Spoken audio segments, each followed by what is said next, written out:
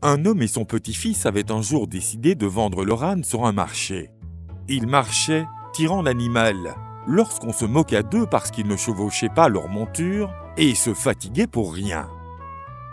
Ainsi, ils décidèrent de monter sur l'animal. Mais très vite, des voisins leur dirent qu'ils étaient cruels envers leur animal, parce qu'ils lui imposaient une grande charge. Le vieil homme laissa alors le garçon sur l'âne. Mais ils rencontrèrent des gens qui lui dirent que cela n'avait pas de sens que le jeune garçon soit assis sur l'animal, alors que le vieil homme devait marcher.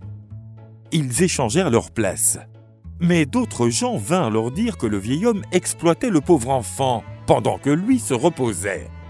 Déconcertés, ne sachant pas quoi faire, le vieil homme et le garçon eurent une idée étrange. Ils attachèrent les jambes de l'âne à un poteau en bois et transportèrent l'animal sur leurs épaules. On n'avait jamais rien vu d'aussi ridicule sur cette terre. Tout le monde pensait qu'ils étaient fous. Lorsqu'ils arrivèrent sur un pont, le garçon fut déconcentré par les railleries et les salanes tomber dans la rivière. L'animal, qui était attaché, n'avait aucune chance de s'en sortir et se noya.